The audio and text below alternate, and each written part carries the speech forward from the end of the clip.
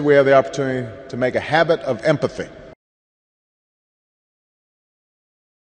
One example from my own life for the way that compassion works in your life to enlarge you is that when I was um, uh, I was part of the civil rights movement, you know, um, and uh, I wasn't an or I'm not really an organizer. I was a little bit an organizer in the beginning days of the feminism, but I'm not very good as an organizer. I mean, my skill is writing, you know, that's what I know how to do. But but I have great respect for organizers, and uh, I was. Uh, but I I loved. Uh, you know, it was very.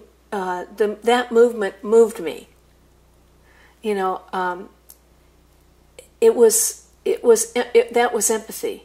You know, I I could I I could feel myself into that situation. I mean, we'll never know the this entirely this the suffering of somebody who's people who have different conditions in our lives. But I but I but I move myself imaginatively, you know, a great deal into into the situation of African Americans, and I I read um, you know I read writers like James Baldwin and, and Richard Wright and and I and Ralph Ellison, and I learned a whole new vocabulary of oppression, and I learned how to frame and see oppression, and uh, and to describe it. Things like internalization.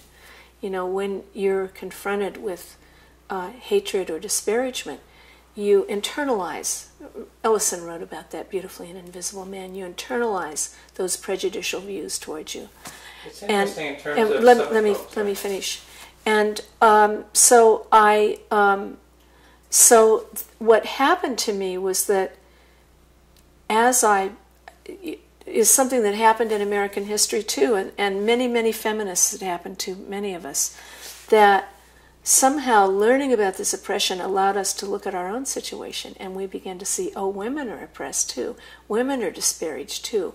We internalize too. So so that very often through your empathy with somebody else you're going to learn a great deal about yourself and through helping other people liberate themselves you can you you will liberate yourself yourself in a, in in some way too. Maybe not as in, in as in a way that is as obvious as the influence that the abolition movement had on the suffrage movement or the civil rights movement had on the feminist movement. But maybe in a more subtle internal way, you will, through your empathy through other people, begin to develop yourself and, and have more empathy for yourself. So it's it, the interconnection goes back and forth. You know, it goes both ways and constantly it's a kind of uh, system of resonance and vibration, like sound in a room. It, it, it doesn't stop anywhere. You know, Obama talks about that as well. He he says when we don't empathize, we diminish ourselves. Yes, that's right. So kind of yes, I love that. I love Obama saying that. When you don't, it was one of the reasons I, I have such hope for him uh, as as our next president. But you know, um, yeah, I I I, I, I think that's absolutely true. Where you fail to empathize, you do diminish yourself.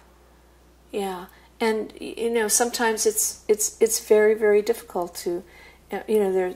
I mean, I I wrote in another book I wrote about Himmler, and I couldn't empathize with him as as the criminal he became. Came I couldn't, but I did empathize with him as the child who was made into that criminal.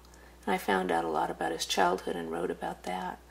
You know, how was he how was he made into this to this monster that he became became.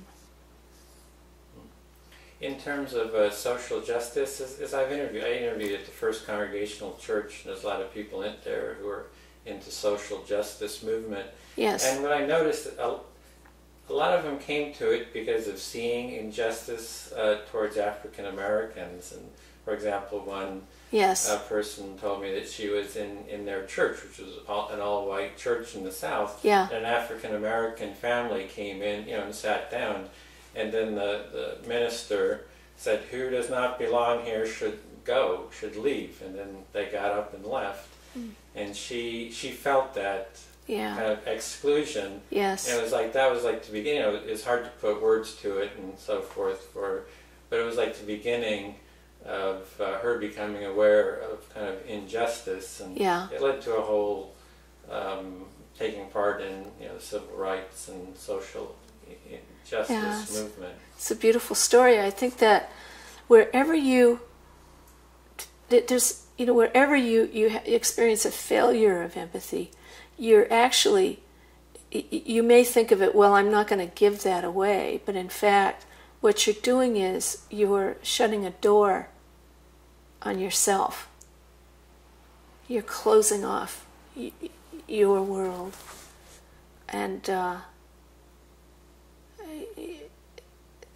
if you know that's that's a, a, a tragedy, a secondary tragedy, or another an echoing tragedy. It's a tragedy that echoes the tragedy of people being divided against each other and and and behaving in ways that are unjust towards each other. Is uh, you know that shutting of that door of your own soul.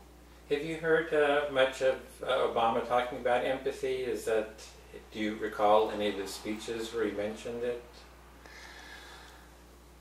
Uh, I can't recall them specifically, but I do No. know that he's mentioned. Oh, okay, yeah. Yeah. because It, it's quite amazing to me because I know that uh, uh, you know George, and he, he's saying that empathy is the the, the ground, the fundamental uh, progressive value that uh, other progressive values come out that when you uh, develop from. So when you empathize, that leads to a sense of responsibility for others. It leads to a sense of unity, Yes. uh, community, sense of wanting equality for everyone. Well, I think it's it's also, um, you know, empathy. Pe- people think of empathy as uh, uh,